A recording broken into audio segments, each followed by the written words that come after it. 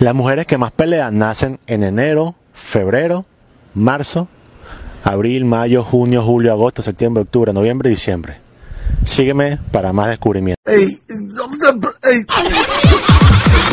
Reventón de la Mañana 2024. Prácticamente cinco lustros detonando el diario.